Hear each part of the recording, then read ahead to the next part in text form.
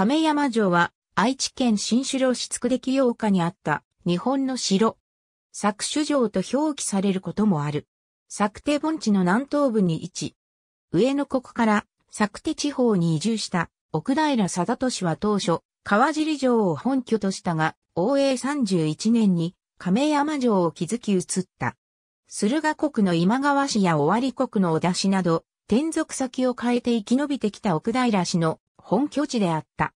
元気年間には、奥平貞義の子貞政が、海の国の武田氏に従属したため、武田氏の三河信仰の拠点となる。だが、天正元年には、徳川氏へ再転属。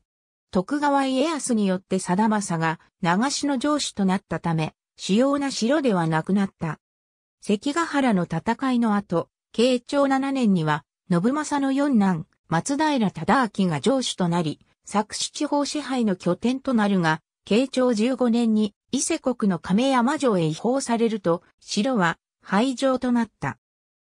土塁や来は、空堀などの保存状態は、比較的よく、奥平市の屋敷群水定地があり、岡崎街道沿いには短冊掲示割も確認されている。